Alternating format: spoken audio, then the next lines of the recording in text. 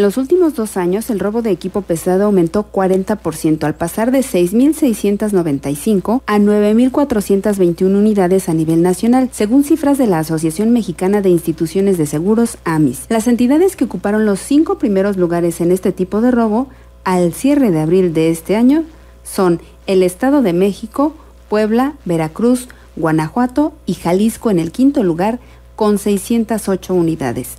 Entre las submarcas con mayor robo de equipo pesado asegurado en el último año están Kenworth, Freightliner, semirremolques de caja seca, International, semirremolques, remolques Dolly, plataforma alta y tanque, así como Mercedes-Benz y Freightliner, entre otros. En materia de vehículos asegurados, que incluye motocicletas, autos y equipo pesado, el robo creció 2% en el último año, para sumar 61.849 en total. Solo el 46% del parque vehicular robado está asegurado. Esto implica que el 54% de las familias que son víctimas del delito pierden totalmente su patrimonio por carecer de un seguro. UDGTV Canal 44, Elizabeth Ortiz.